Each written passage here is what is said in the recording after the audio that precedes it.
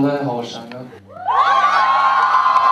这很开心能带着我大家一起的这之前自行车》来现场，嗯也很荣幸看见大家能坐在这里去呃支持这部片子，也希望你身边的朋友呢能真正上你那一天带你的朋友再继续来到影院，呃谢谢你们的支持。然后我用那个词越来越孩子一点。嗯，我现在应该是词的话就是珍惜吧。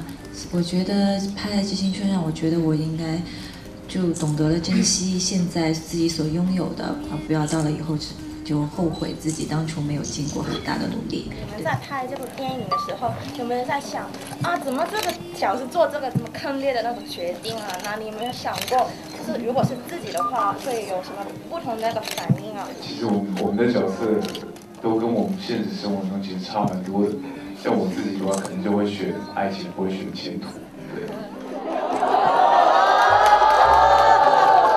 好男人。这次你看那个那个《知青春，我也是看了，这是第二遍，有了很多大学的回忆。大学里面寝室确实就是那个样子。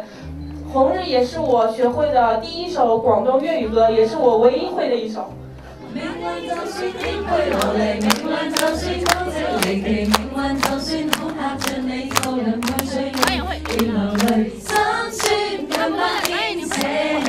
có nghi ngần nhá sớm hơn im tuổi buồn nay.